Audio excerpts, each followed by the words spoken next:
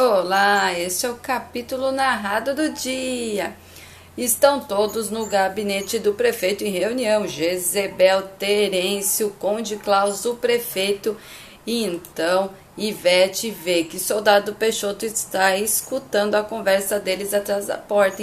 Ela entra no gabinete para falar para o seu prefeito e ele não acredita nela, ainda chamam ela de mexeriqueira e que ela está inventando coisas quando ela diz que havia alguém atrás da porta escutando, mas eles não permitem nem que ela diga quem que é a pessoa que estava ali e o prefeito expulsa ela do gabinete. Ivete fica muito chateada por ninguém ter dado ouvidos a ela.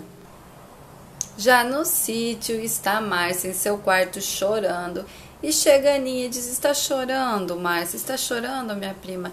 E então Márcia diz: Chorando de raiva, de ódio, porque a vida é muito injusta com a minha pessoa, sabe? Imagina que até um jumento como o Timóteo tem namorado. Mas até você até você que nem podia falar, ouvir falar do Danilo, agora tá aí, se acertando toda com ele. E eu, e eu, ei Aninha, me diga, mas não é que eu tenho inveja não, sabe bem? Não, não é inveja não, não tem inveja, mas é que não é justo. Eu tenho as qualidades de ser humano, sabe? E a Aninha então se aproxima demais e diz eu sei que tem muitas qualidades, Márcia, muitas mesmo. Você é uma pessoa muito boa. Mas sabe, Márcia, será que você não está escolhendo demais? Está. Será que você não pensa em se casar só por ambição, só por dinheiro? E Márcia diz: Ô bem, é, eu sou chique, eu não posso casar com qualquer um, não, meu bem. Aninha então diz: Márcia, o que importa é o sentimento da pessoa e não o dinheiro. O que importa é o amor. Márcia diz: Eu tenho amor. E eu tenho amor pelas joias, pela posição social. Aninha então diz: É amor, Márcia. Eu estou falando de amor. Amor. E Márcia fica olhando para Aninha. E Aninha diz para ela: É o amor que, quando um sente para os, olha para os olhos do outro, sente que não pode mais viver longe um do outro o coração bate mais rápido. É desse tipo de amor, Márcia. E Márcia começa a chorar. A Aninha pergunta para Márcia: Márcia, me diga, você já sentiu seu coração bater mais rápido por alguém, Márcia? Márcia fica pensativa e fica se lembrando do dia em que ela foi agradecer o presente de Natal que Timóteo havia lhe dado e pede que Timóteo lhe dê um abraço de Natal ela fica se recordando daquele dia em que Timóteo dá um beijão nela. Márcia fica pensando e fica quieta. E a Aninha então diz: Márcia, você está tão séria. Eu acho que você gosta de alguém de verdade, sim, hein, Márcia? E Márcia fica quietinha, não conta nada para a Aninha. E já na cidade está Peixoto indo falar com Jóia e Beleza. Então fala. Ô, oh, Joia, beleza? Avisem a senhorita Olga que eu preciso falar com ela urgente. Urgente, é importantíssimo. Então, beleza, disse, mas se é importante, tem que dar uma gorjeta. Então, Peixoto disse, eu sou autoridade. Avisem a Olga agora, senão vou botar vocês dois no xadrez. Então, beleza, disse, até esse tampinho aí que é dar ordem na gente. Mas vamos, vamos lá falar com a senhorita Olga. Então eles chegam na casa da Olga e avisam para a Olga e a Olga fala: Hum, deve ser aquela notícia que eu estou querendo saber. Bom, andem bem depressa e vão falar para o senhor Sebastião nos encontrar no mesmo lugar. Então pede gorjeta para Olga e Olga dá uns tapão nas mãos deles e diz: Gorjeta nada, eu vou arrancar a cabeça de cada um se não correrem bem depressa e avisar para o Sebastião encontrar comigo e com o Peixoto. Vão, vão. E Olga então fica feliz em sua casa após eles saírem diz: Ah, é agora que eu vou destruir a felicidade da Aninha e do Danilo. E já no gabinete do prefeito está Jezebel, Conde Klaus Terêncio e prefeito conversando. E Jezebel fala: Meus queridos, temos que nos ter calmas, temos que nos conter, porque O Danilo, o Danilo está começando a desconfiar das nossas más intenções. E então Terêncio diz: É, nós fizemos muito mal em ter ido falar com ele. E o conde diz: É que nós pensávamos que ele era safado igual o tio, né? Então o prefeito: oh, o, o quê? Você está me chamando de safado? E o conde diz: ah, Muito direito, o senhor não é, não, o senhor é safado sim. Ah, fica sentado com esse traseiro gordo aí na mesa do prefeito e faz o possível e impossível para não sair daí. Então o prefeito diz para o conde: Você quer unha de fome? Conde então fala: unha de fome nada, eu sou econômico. Então Jezebel dá um grito porque começa aquela confusão, um falando mal do outro. Então Jezebel fala: Silêncio, senhores, não estamos aqui para brigar, se contenham. Gente, estamos aqui numa reunião para decidirmos o que iremos fazer sobre o caso do Danilo e da Vilvinha. Realmente, eu pensei que depois que ele se juntasse, a situação melhoraria para o nosso lado, mas não, não. O Danilo está cheio de pudores, todo certinho. Acredito mesmo é que ele deve estar apaixonado pela Vilvinha. E então o prefeito diz: É, e aliás, ela é um bom petisco, né? Então o conde diz: Ela é muito magrela, muito magricela. E o prefeito fala: Que está dizendo? A sua cabritinha é muito mais magra que a Aninha.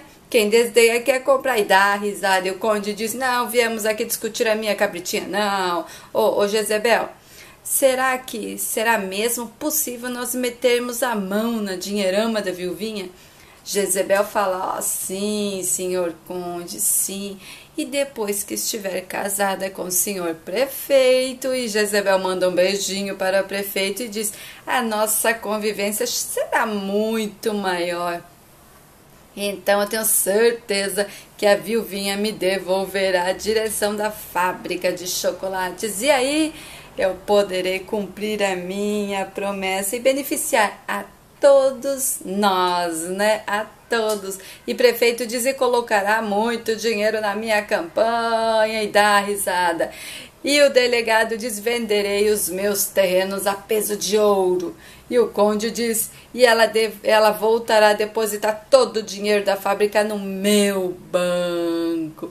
E Jezebel diz: exatamente, senhor conde, exatamente. Pelo menos uma vantagem já temos, meus queridos porque a viuvinha não irá vender a fábrica de chocolate. Já saímos na vantagem. Isso nós já conquistamos, vencemos, vencemos e vencemos. Então eles se dão as mãos e comemoram a vitória. E chega para encontrar soldado Peixoto, a Olga e o Sebastião. Então Peixoto disse, mas senhorita Olga, esse encontro não seria a só, só eu e você? E Olga disse, eu convidei o Sebastian porque ele também está interessado na história. E Sebastian diz, eu quero saber todo o plano daquela corja. E Peixoto diz, eu não conto para ele, não aceitarei contar para ele. E Olga diz que belo beijo irei lhe dar se você contar. E Peixoto diz, eu quero sorvete, ou melhor, dois sorvetes, um para mim e um para a senhorita Olga. E Olga diz para Sebastião, até que não é uma ideia. E Sebastião diz que chantagista barato, você é, seu Peixoto. E Olga diz, larga a mão de seu unha de fome e vai gastar um pouquinho do dinheiro que ganhou com as cartas, que eu sei que é muito, bastante para comprar o sorvete da cidade toda. Então, vá comprar um sorvete para mim de baunilha. E Peixoto diz dois dois. Dois de baunilha. E Peixoto fica dando risada e Sebastian sai para comprar os sorvetes. E se... Então Sebastian sai e fica sós, Peixoto e Olga. E Peixoto fala para Olga: De você eu quero um beijo, um beijo. Olga diz: Para de tocar nesse assunto o tempo todo, ou farei engolir essa sua mão inteira. Já no salão está Márcia muito triste. Beto nota e vai perguntar para Márcia: Senhorita Márcia, o que, que há com a senhora? Está tão séria hoje, parece triste. Márcia diz: Ô Beto, ô, vai cuidar da sua vida, vai? Hã? E Beto diz: Dona Márcia, estarei indo na cozinha para tomar um copo d'água. Se quiser conversar comigo, estarei lá. Beto então chega na cozinha e está Selma. E Beto diz para Selma: Selma, que bom lhe ver. Ontem eu achei que nós iríamos nos encontrar. Depois do beijo que aconteceu entre nós, eu esperei tanto por esse momento. Selma então fala para Beto: Beto, eu ainda estou namorando com Maurício por mais não tão certo que ele seja, mas eu estou namorando ele com todos os defeitos dele. Eu preciso de um tempo, Beto, eu preciso conversar com ele, sabe? E Beto, aconteceu, aconteceu algo especial entre nós. E Beto diz: promete que irá falar com Maurício. E Selma diz: hoje mesmo, mas eu não quero que ninguém fique sabendo do nosso namoro por enquanto. E Beto diz: Mas por quê? Selma diz: É que eu preciso primeiro romper com Maurício, porque eu não quero que fiquem sabendo que eu já estou namorando outra pessoa, mesmo estando com o Maurício. E depois, Beto, eu não quero que fiquem falando mal de mim por aí. Promete, promete manter esse segredo, Beto? E Beto então concorda e diz: É claro, Selma. Então Selma, ao sair, dá um beijo no rosto de Beto e sai. E Beto fica sozinho na cozinha muito feliz com o que Selma lhe falou. E nisso chega a Márcia e diz: Ô, ô, ô, bem é, que você tá rindo tanto aí? É, ó. E Beto vai falar e Márcia diz: ah, nem precisa explicar, não quer nem saber. Bom, me tentou, me tentou que acabou conseguindo, né, o Beto? Ô, ô Beto, sabe que isso me deixa até mais triste? E Beto diz: mas triste por quê? e mais, ah, ah, deixa pra lá. Todo mundo aí encontrando amor, sabe? E eu, ah, que que adianta ser chique, toda chique e ficar sozinha? Ah, do que que adianta, Beto? Beto então se aproxima demais e diz, Dona Márcia, a senhorita pelo menos já aprendeu a beijar? E Márcia dá risada e diz, não, não aprendi a beijar, não. Ai, Beto, eu preciso procurar um médico, mas não tenho nem força para isso, sabe, Beto? Mas sabe que aqui me deixa mais triste de tudo? É, é, é o casamento do senhor prefeito e a Jezebel que tá chegando, Beto. Já tá quase chegando. Isso me deixa mais triste de tudo. E já na pracinha está Sebastião, Olga e Peixoto tomando sorvete. E Peixoto diz: Eu tinha que ter pedido um sorvete de duas bolas. Então Sebastião fala: Vá, desembucha logo, soldado, a minha paciência já esgotou. Peixoto então fala: Eu vi, eu vi, eu vi quando seu pai saiu com ar suspeito da delegacia, Olga. Então, sabe o que, que eu fiz? Eu segui ele e ele estava indo em direção à prefeitura com passos leves como um gato e eu o segui muito bem. Nenhum outro soldado seria capaz de seguir um delegado como eu. Mas eu, com muitas astúcias, muita esperteza e Olga dispara de se vangloriar, soldado. Ficar se elogiando é feio. Então Sebastião diz: conte logo que está sabendo, Peixoto. Peixoto fala: Bom, eu não ouvi tudo porque aquela secretária do prefeito me pegou em flagrante, mas uma coisa está clara. Eles esperam botar as mãos no dinheiro da fábrica de chocolates. Então Olga diz: Ah, e Sebastião também, que é isso? Olga diz: Até as pedras da rua já sabem disso, Peixoto. E Sebastião diz: Até eu tentei colocar a mão no dinheiro daquela fábrica, Peixoto. Peixoto fala: eles querem botar a mão no dinheiro quando ela se casar com Danilo. Eles querem pôr as mãos na fábrica com o casamento da Vilvinha e o Danilo. E Olga diz: Mas é claro, eu não havia pensado nisso antes, é claro. O Danilo é sobrinho do prefeito, a Jezebel vai se casar com o senhor prefeito e vai ficar tudo em família. Ai, como eu fui idiota! E ainda pedi conselhos para aquela cobra venenosa e acabei caindo na armadilha dela. E, e, Seba, e, e Peixoto diz: Então eu era sua armadilha, né, Olga? Que armadilha gostosa para você, hein? E Olga diz: Cala a boca, seu traste. Sebastião fala: É isso aí, Olga, é isso mesmo. Deu um jeito ainda de trancar os dois na fábrica de chocolates. Na fábrica, lembra? E quem iria resistir a viuvinha trancadinho a noite todinha na fábrica, hein, Olga? Olga fala, e antes, os bilhetes, os desencontros, mas eu vou contar tudo pra viuvinha. Sebastião diz, Olga, se Danilo estiver de acordo. Então Peixoto diz: Acho inútil, inútil você falar com o Danilo, Olga. Você agora está de compromisso com a minha pessoa. Olga diz: Já mandei você fechar a matraca, seu verme. De fato, ele já gostou dela no passado, embora ele tenha jurado nunca mais querer nem ouvir o nome daquela pata-choca. Sebastian diz: ah, ele deve estar fazendo que nem eu, tentando juntar o útil ao agradável, querendo se casar com a viuvinha, mas também querendo meter as mãos na fábrica. Olga diz: a família do Danilo é rica. Sebastião diz: Olga, dinheiro nunca é demais. E me parece que o Danilo tem uma certa afeição a, por aquele filho dela. E Sebastião continua e diz aquele que tem cara de barata descascada. E Olga diz ah, aquele monstrinho daquele filho da viuvinha. O jeito, o jeito é contar para a Aninha tudo isso. E é isso que eu irei falar. Irei falar com ela, irei me fazer de amiga, irei contar que tudo é um plano para tirar todo o dinheiro dela. E Sebastião fala: Olga, minha querida, você acha mesmo que ela vai acreditar em você?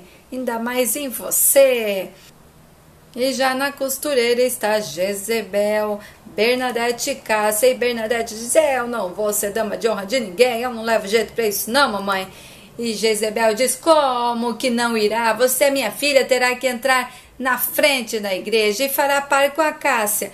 E Cássia diz: Vamos, Bernadette, a sua mãe está comprando um vestido tão lindo para nós duas. E Bernadette diz: Não existe vestido lindo, não existe coisa nenhuma. E eu não vou entrar na igreja com todo mundo olhando para mim. E Jezebel diz: Vai entrar sim, sua desengonçada, horrorosa. Então Cássia abraça Bernadette e diz: Vamos, vamos, vamos. Não se assuste, não precisa ficar assustada que eu estarei com você. Então Cássia abraça Bernadette e tenta se soltar e Bernadette fica segurando Cássia para não soltar dela. Então Cássia diz que foi Bernadette e Bernadette diz: "Bom, nada" e sai correndo e fica fica Jezebel Cássia e a costureira e Jezebel diz: Ai, aquela menina é inútil, é inútil tentar falar com ela. E Cássia então diz: Eu irei ver o que está acontecendo com a Bernadette. Jezebel fica reclamando para a costureira: Ai, dona Micaela, como eu sofro, como eu sofro. E já na rua está Cássia correndo atrás da Bernadette. Bernadette, Bernadette.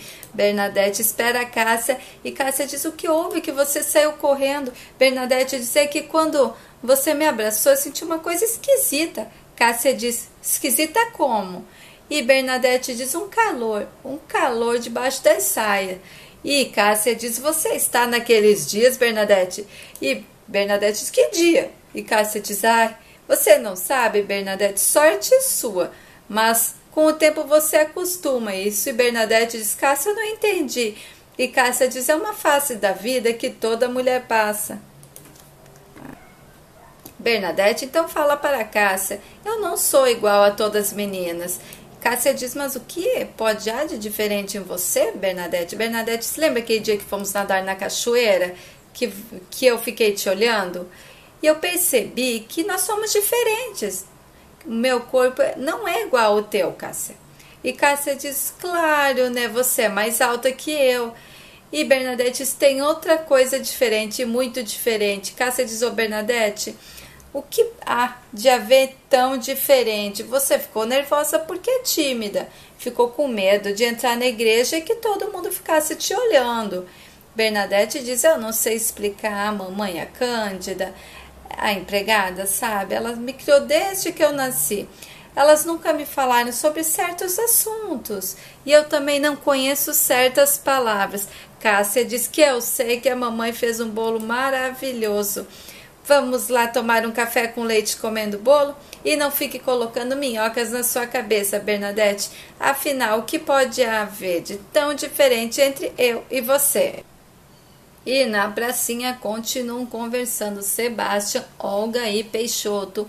Olga então diz: de fato, a Vilvinha não acreditará em mim mesmo. E Sebastião então fala: e nem em mim. Então os dois olham para Peixoto e Peixoto diz: ah, eu muito menos, ninguém acredita em mim mesmo. E Olga diz: de fato, de fato mesmo, né? Olga fala para Sebastião: O que faremos, Sebastião? Sebastião diz: Vamos esperar. Olga diz: Esperar. Esperar enquanto os dois vão como pombinhos na rua da cidade. Se eu tiver que esperar, eu morro. Sebastião diz: Vai ter que aprender a ter paciência. Eu sou muito bom jogador. Eu sei dar a cartada certa na hora certa. Nós iremos esperar para dar o bote. E Olga concorda e diz: É, terá que ser melhor mesmo esperar. Logo chega o casamento da Jezebel e o prefeito, e até lá a gente verá como as coisas caminham, né? Sebastião então diz: Bom, não é bom que nos vejam juntos, é bom nos separarmos para que ninguém ache que estamos planejando algo. Então Olga diz: É, vamos cada um para um, um lado e ninguém verá que nós estamos planejando. Peixoto diz: E se eu contar para todo mundo, hein? E Peixoto continua e diz: é, eu posso contar. E Olga diz o quê? Como se atreve? Peixoto diz: Eu posso não contar, mas com uma condição, desde que eu ganhe outro beijo seu. Olga diz: Eu prefiro morder um cacho de abelhas do que beijar a boca de um verme. Peixoto diz: Pois muito bem, eu contaria essa conversa para o seu pai e para Jezebel também. Sebastião diz: Olga, Olga, Olga. Olga, beija o verme, beija o verme, não custa nada beijar o verme. Vai, vai, beija o verme, Olga, beija. E Olga então se vira para, para Peixoto e diz: Um, um beijo, seu verme, um e muito de vez em quando mesmo. Você entendeu, seu verme? E se disser uma palavra sobre o que conversamos aqui, é você que irá engolir um cacho de abelha, seu verme. E soldado Peixoto fica feliz. Já na fábrica de chocolate está tio Margarido Timóteo. Tio Margarido está muito feliz e diz quanta alegria nessa cidade. Aninha de casar e eu também vou casar com a dona mocinha e vou casar devagarinho, bem devagarinho, para modo de não atropelar o casamento. Timóteo então diz: E eu, tio, e eu, tio, tenho minhas esperanças com a Gigi. E Dária diz: Só eu que não arrumo um par de carça, pai e eu, porque o conde que eu gostava se casou com outra. Tio Margarido abraça a Dária e diz: Ô, oh, Dária, você há de achar um par de carça, filha. E você, seu gênio, que não foi mais lá nossa casa pra moda de procurar Márcia. Olha, olha que a Márcia, minha filha, é um partidão, hein?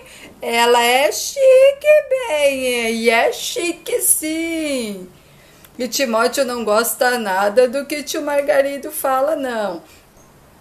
E já na fábrica de chocolate está Selma trabalhando e chega Maurício e diz para Selma: Eu dei uma fugidinha do banco porque faz dias que não nos vemos, Selma.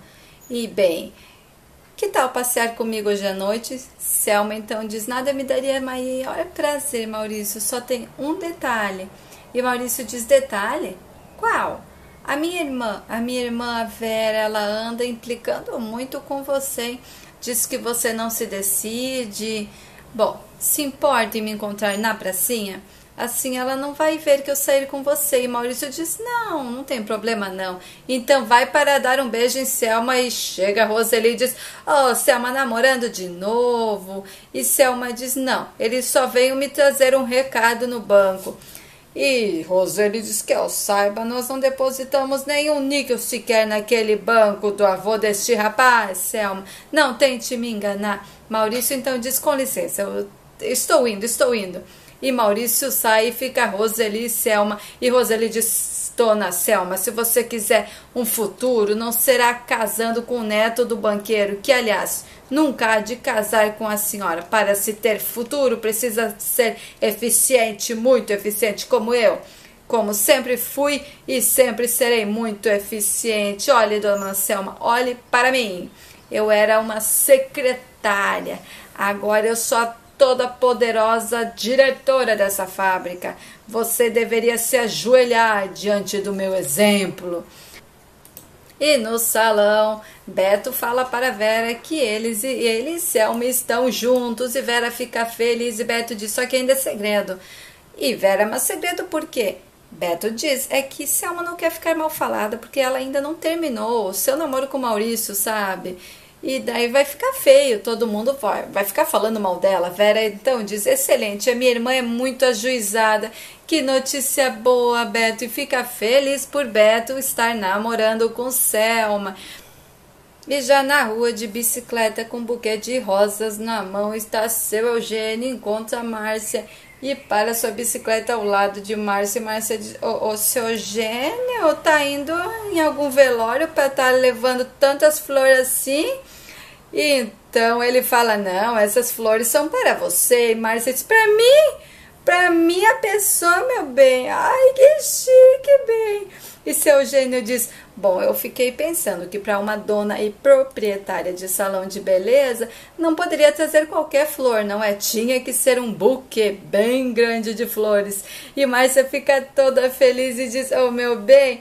Bom, buquê maior que isso, só se fosse uma coroa de defunto, né? E dá risada. Então Márcia pega o buquê de rosas de seu Eugênio. E nisso está chegando de carroça Timóteo. E Timóteo olha com cara feia e diz: Ô, ô Márcia, que que você. Mas esse aí tá aí, Prosiano, ah, E Márcia diz: Você não tem nada a ver com quem eu tô conversando, deixa te conversar, meu bem.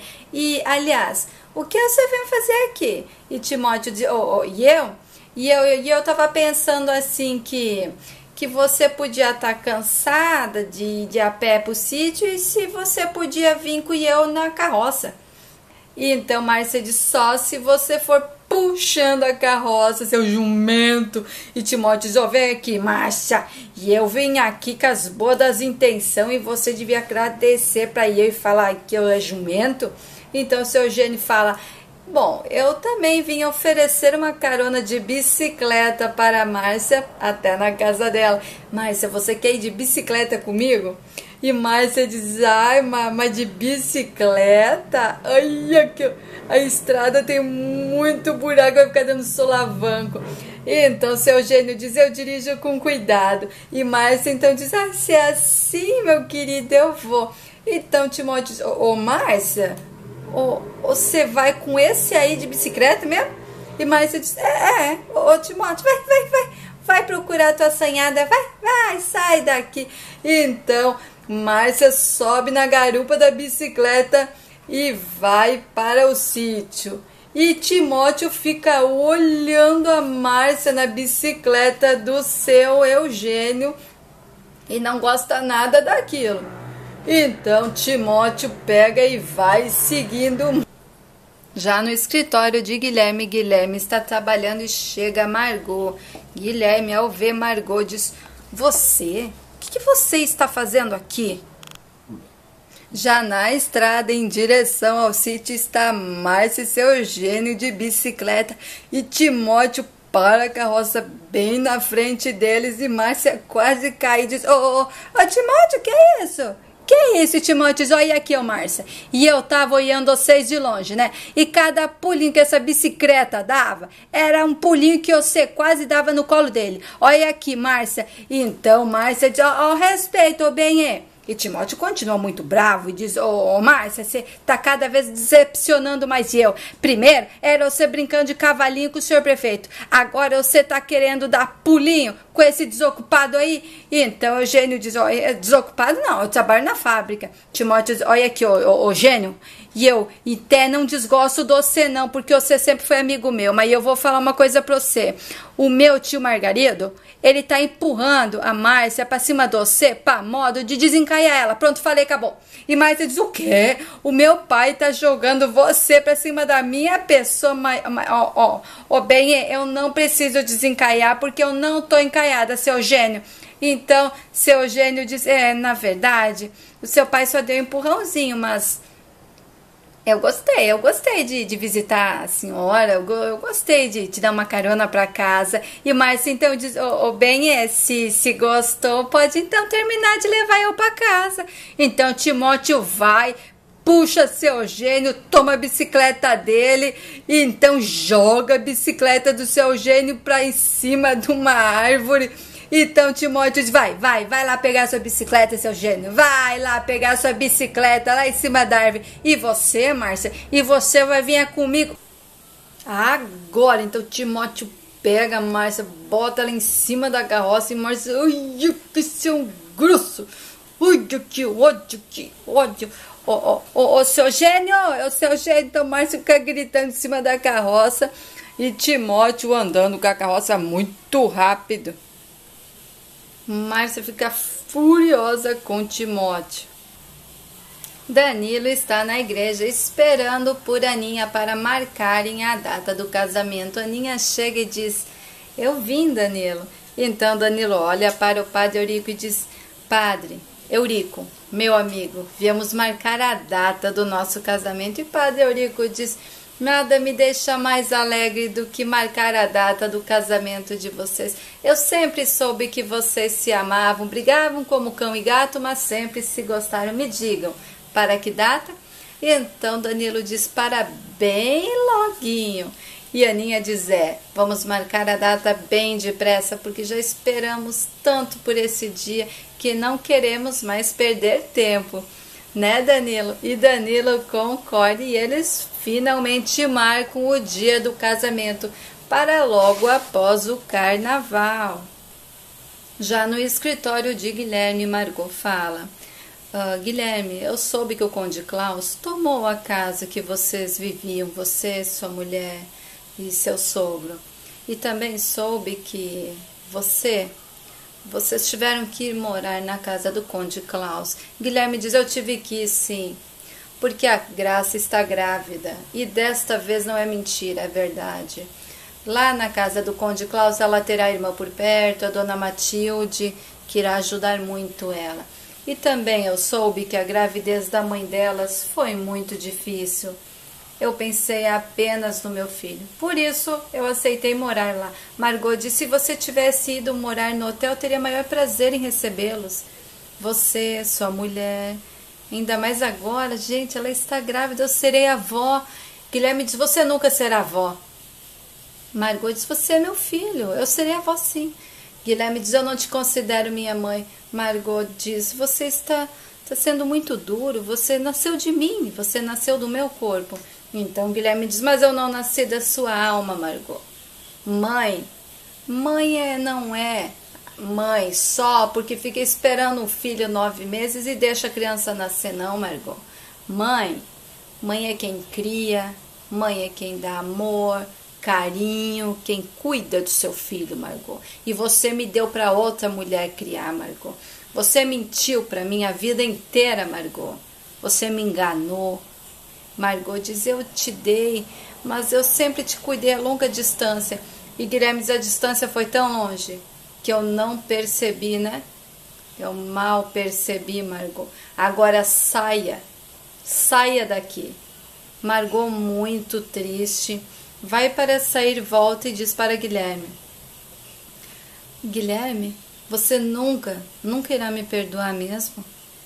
Guilherme então fala para Margot: é, então Margot diz: é, se você não vai me perdoar, Guilherme, pense ao menos no seu filho. Vão para o hotel, lá vocês terão mais conforto. Eu tenho empregados que poderão ajudar vocês. Guilherme diz agora que eu já sei de toda a verdade, eu não vou aceitar uma migalha que venha de você. Nunca. Você ganhou aquele hotel vendendo seu corpo, Margot. Eu posso até ter nascido do seu corpo, sim, Margot. Só que eu tenho vergonha. Eu tenho muita vergonha. Sabe por quê, Margot? Porque eu tenho brilho.